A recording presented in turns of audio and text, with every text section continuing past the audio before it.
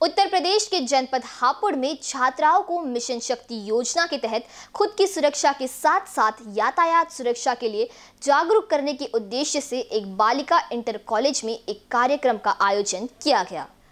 आपको बता दें कि उत्तर प्रदेश सरकार द्वारा जहाँ प्रदेश की बहन बेटियों की सुरक्षा को लेकर मिशन शक्ति योजना को छह माह के लिए प्रारंभ किया गया है तो वहीं नवंबर माह को सड़क सुरक्षा माह के तहत मनाते हुए सड़क दुर्घटनाओं को रोकने का भी प्रयास किया गया है। इसी को ध्यान में रख जनपद हापुड़ के स्वर्ग आश्रम रोड स्थित बालिका इंटर कॉलेज में कार्यक्रम पुलिस क्षेत्राधिकारी महिला रूपाली राय एवं यातायात प्रभारी प्रवीण कुमार शर्मा के साथ आयोजित किया गया, जिसके तहत उपस्थित छात्र छात्राओं अध्यापिका को जहाँ रस्ते में किसी भी प्रकार से प्रताड़ना की स्थिति में पुलिस की समस्त हेल्पलाइन नंबरों से अवगत कराते हुए तत्काल सहयोग लेने के लिए समझाया गया तो वही सड़क दुर्घटनाओं को रोकने के लिए खुद एवं एवं परिजनों से यातायात नियमों का पालन करने के लिए भी जागरूक किया गया। इस अवसर पर यातायात पुलिस द्वारा यातायात नियमों का पालन करने के लिए शपथ भी दिलाई गई। इस अवसर पर हमारे संवाददाता से बात करते हुए कॉलेज के कार्यकारी प्राचार्य ने सरकार की नारी सुरक्षा के लिए चलाई गई योजनाओं को महिलाओं के बीच पहुँचाने के लिए प्रशासन की पहल का जहाँ धन्यवाद किया तो वही सरकार की इस योजना से सड़क दुर्घटनाओं में कमी के साथ साथ छात्राओं के साथ होने वाली आपराधिक घटनाओं में कमी आने का भी विश्वास जताया। जैसा कि शासन द्वारा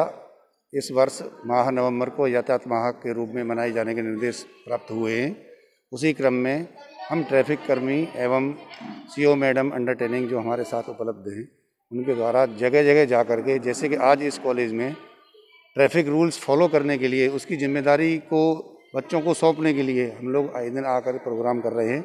इसमें हमने साथ ही साथ नारी शक्ति मिशन को भी आगे बढ़ाया है। बच्चों को, खासकर लड़कियों को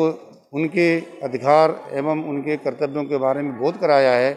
जगह जगह जो हमारे शासन ने मोबाइल नंबर और उनकी सुरक्षा के लिए अन्य चीज़ें बनाई गई हैं, उनको, उनसे अवगत कराया गया है। सड़क सुरक्षा के लिए जो प्रोग्राम हुआ और आए और सभी को बताया गया